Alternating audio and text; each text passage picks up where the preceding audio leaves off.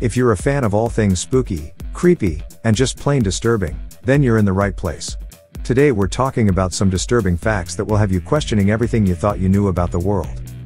But don't worry, we're not just going to leave you feeling depressed and traumatized.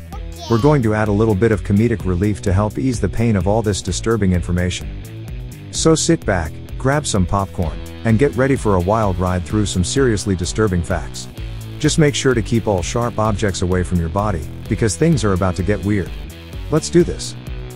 Have you ever wondered if there are murderers around you? Have you looked at the gaze of a person on the street or even a close friend and seen something very sinister in it? If so, you might have actually seen something in that sight.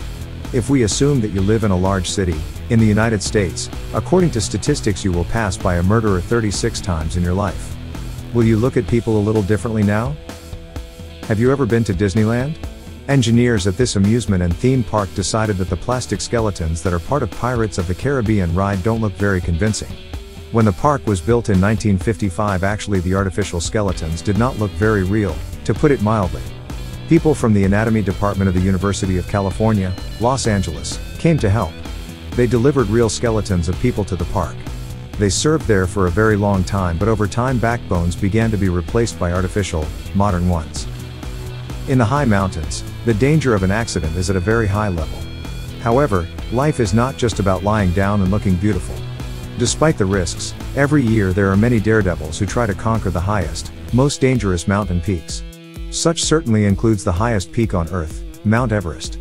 However, many of these daredevils pay the highest price for their passion and desire to conquer their lives.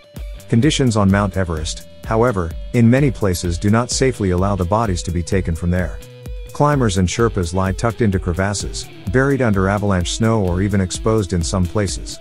There are over 200 corpses on Mount Everest and some of them are used as waypoints for other people. Now something to lighten up and get around the topics of danger and death. People are trying to be economical, hence the creation of abbreviations of all kinds, including language abbreviations. Time is money, for some, so communication should be simplified, should it really be simplified? However, have you ever thought that the abbreviation WWW is not very rational? It's much quicker to say World Wide Web. Check it out for yourself. And we're back to the weird and scary stuff. The human body will never stop surprising me. Some cancers can grow bits of teeth and hair inside. The next picture will not be pleasant. If you don't want to see it, click pause and move on to the next fact. Do you like animals? I love them very much. I have a dog myself. A beautiful sheepdog. Dogs like to play as much as people do. They need a shot of endorphins. That's why owners buy them all sorts of squeaky toys. Hmm well, squeaky? Have you ever noticed that dogs definitely prefer squeaky toys to those without loud ones? According to a recent study, this is because the squeaking of a toy reminds dogs of a small animal being killed.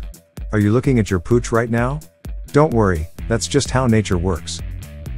The US Apollo 11 spacecraft landed on the moon on July 20, 1969, a big moment for humanity. It was the first time man stood on another planet. However, few people are aware of the dramatic scenes that unfolded inside Apollo 11. The Apollo 11 spaceship was on its historic descent to the moon's crater pock surface, still 100 feet above the ground, when a fuel light blinked on. Apollo 11 only had about 20 seconds of fuel left when it finally landed. I'm sure Armstrong and Aldrin certainly didn't feel comfortable at the time. Do you like to fly on an airplane? I love it. The feeling of taking off, suddenly overshooting and bouncing off the ground is impossible to replace. It's a bird, it's a plane. It's a pilot snoozing on the job. Believe it or not, a shocking 50% of pilots have admitted to falling asleep during flights. While it's not clear how they managed to catch some Z's with all the buzzing and humming of the cockpit, it's safe to say that this is definitely not the kind of turbulence we want to encounter on our next flight. Let's hope the other 50% are well rested and ready to reach their destination safely. Ah, the beauty of daytime. The sun is shining, the birds are chirping, and everything just feels a little bit brighter. But let's not forget where all this daytime goodness comes from. That's right, it's all thanks to that giant ball of flame in the sky. Without the sun, the universe would be in a constant state of nighttime. Can you imagine? No more sunny beach days or warm summer evenings. But fear not, the sun is always there to light up our world and bring us those precious daylight hours. So the next time you're enjoying the warmth of the sun, just remember, you have a fiery ball of plasma to thank for it. Have you ever heard your child talking to someone who isn't there? Don't panic, it's actually quite common. According to experts, around 8% of children experience auditory hallucinations, also known as hearing voices. That's about the same prevalence as asthma or dyslexia. While it can be unsettling for parents to hear their child talking to thin air, it's important to remember that this is a normal part of childhood development for some kids. If you're concerned about your child's experience with hearing voices, it's always a good idea to talk to a healthcare professional for guidance. But in most cases, hearing voices is just a temporary phase that children grow out of. Ew. Gross. Did you know that your bed is likely home to millions of tiny critters called dust mites? These microscopic bugs feast on the dead skin cells that we shed every day, and they can thrive in warm, humid environments like your bed. In fact, it's estimated that a typical mattress can have up to 10 million dust mites living inside it. Gross, right? But don't worry, there are steps you can take to help reduce the number of dust mites in your bed. Regular washing of bedding in hot water can help kill off these creepy crawlies, and using dust-proof covers on your mattress and pillows can also help. So the next time you crawl into bed, just remember, you're not alone. Get ready to have the creeps, because we're heading to Isla de las Muñecas, also known as the Island of the Dolls. This creepy location is one of the most haunted places in the world, and it's easy to see why. Located in Mexico, the island is home to hundreds of dolls that hang from the trees, their plastic faces frozen in a state of perpetual terror. Legend has it that the dolls were placed there by a man named Don Julian Santana, who was trying to appease the spirit of a drowned girl he found on the island. Whether or not you believe in ghosts, there's no denying that the Island of the Dolls is one seriously spooky place. Consider yourself warned. Hold up, did someone say rat droppings in our candy bars? Yum, yum, pass the rodent poop, please. Just kidding, no one wants rat droppings in their sweets. But believe it or not, the FDA does actually allow small amounts of these pesky critters in our food. Don't worry, it's not as gross as it sounds.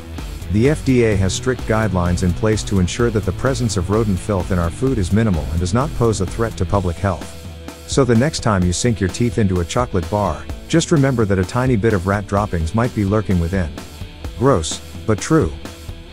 Step aside, plastic cups and bowls. The ancient English had a much more macabre option for their dining ware, human skulls. That's right, it was not uncommon for people in ancient England to use hollowed out skulls as cups and bowls. Talk about a creepy conversation starter at your next dinner party. Hey, pass the salt. Oh wait, that's just a human skull. Never mind. While it's definitely not a practice that we follow today, it's interesting to think about the lengths people would go to in order to reuse resources. So the next time you're sipping your morning coffee out of a ceramic mug, just be grateful you don't have to drink out of a human skull. Calling all ghost hunters. There's a haunted radio station that you may want to add to your list of paranormal places to visit.